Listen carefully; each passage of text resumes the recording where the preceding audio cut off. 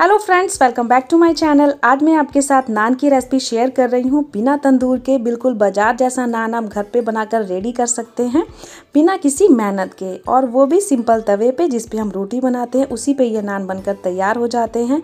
ये नान मैंने आटे से बनाए हैं तो जिन लोगों को मैदा नहीं पसंद वो आटे वाले नान बनाकर खा सकते हैं। तो चलिए फिर शुरू करते हैं बनाना। एक पैन में मैं ऐड कर रही हूँ डेढ़ कप गेहूँ का आटा। जिससे हम चपाती लगाते हैं, वही वाला ये आटा है और इसी में ऐड कर देंगे आधा कप मैदा। अच्छे से छान लेंगे। गेहूँ के आटे में मैदा मैंने इसलिए ऐड किया है इसे बहुत अच्छा टेक्सचर आता है नान का, बहुत ही ज़्यादा क्रिस्पी बनते हैं। तो थोड़ा सा मैदा आप ज़रूर ऐड करें, मेज़रमेंट बिल्कुल परफेक्ट है। तो मैंने छान लिया है, अब मैं ऐड कर रही हूँ आधा चम्मच बेकिंग पाउडर और दो चुटकी ऐड करेंगे मीठा सोडा।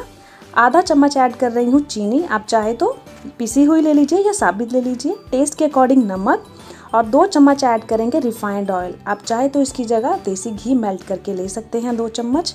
अब ऐड कर देते हैं आधा कप दही और अच्छे से सभी चीज़ों को हम मिक्स कर लेंगे, ताकि बेकिंग पाउडर, मीठा सोडा अच्छे से आटे में मिक्सअप हो जाए, अच्छे से पहले मिक्स करेंगे। बहुत अच्छे से मिक्स करना है, उसके बाद हम आटा लगाएँगे।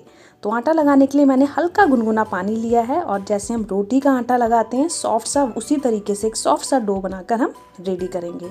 तो देखिए पाँच मिनट में मैंने अच्छे से आटा गूंद लिया है। पहले अच्छे से मिक्स करें, उसके बाद ही गूंदें। तो आटा बिल्कुल परफेक्ट है। अब मैं गीले कॉटन के कपड़े से इसे ढक देती हूँ। दस मिनट के लिए छोड़ देते हैं और दस मिनट के बाद देखिए आटा हमारा बिल्कुल परफेक्टली सेट है। तो अब करते हैं नान बनाने की तैयारी। तो जैसे हम रोटी बनाते हैं, उसी साइज़ का हम एक छोटी सी लोई लेंगे। और इस तरीके से जैसे हम रोटी बेलते हैं, थोड़ा सा पहले हम सूखा आटा लगा लेंगे या मैदा लगा लीजिए। और इसे रोटी के आकार में बेल लेंगे। मैं थोड़े नान के शेप में इसे बना रही हूँ। इसे अच्छा लुक आता है नान का। आप चाहे तो रोटी के आकार का भी बेल सकते हैं और इतनी मैंने पतली रखी है इसे।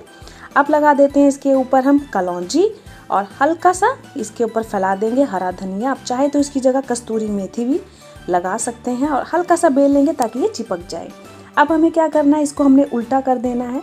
जहाँ हमने धनिया पत्ती लगाई है उल्टा करके उल्टी साइड हम इसके ऊपर पानी लगाएँगे। चारों तरफ़ अच्छे से फैला के हर जगह हमें पानी लगाना है।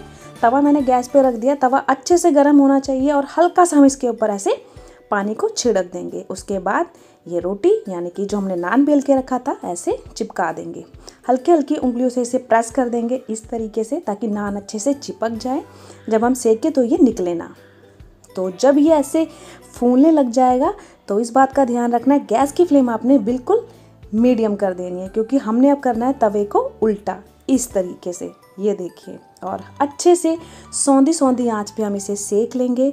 जैसे नान तंदूर में सिकता है, उसी तरीके से सिक कर रेडी होगा। ये देखिए। बस सेकते टाइम आप ध्यान रखें, चारों तरफ़ तवे को घुमा घुमा कर अच्छे से नान को सेक लीजिए। कहीं भी कच्चा ना रहे। जब ये सीखने लग जाए तो थोड़ा सा गैस की फ्लेम को हाई कर दीजिए और जो साइडों में किनारे हैं उसको हम अच्छे से सेक लेंगे ताकि किनारे भी कच्चे ना रहे नान के बहुत इजी है, इस तरीके से आप ट्राई करें। आटे वाले नान जल्दी से डाइजेस्ट हो जाते हैं, चाहे तो आप इसे डिनर में भी बनाकर खा सकते हैं, बहुत ही ज़्यादा टेस्टी लगते हैं। तो देखिए, इस तरीके से मैंने किनारे भी सारे सेक लिए हैं और नान हमारा बिल्कुल परफेक्ट बन के तैयार है। देखिए कितने अच्छे तरीके से फूल गया है ये नान। छोटा बड़ा जिस साइज़ का आपको बनाना हो, आप उस साइज़ का नान बनाकर रेडी कर सकते हैं। तो अब हमें इसे क्या करना है? हल्के हल्के हाथों से, किनारों को ऐसे प्रेस करना है ताकि ये जो हमने उंगली से चिपका रखा था, वो अपने आप ही किनारे छोड़ने लगेगा इस तरीके से। और देखिए, तवे से एकदम परफेक्टली नान उतर गया है। नान बनकर रेडी है। अब लगा लेते हैं हम इस पर बटर तो देखा कितना ईजी है आटे वाला नान बनाना।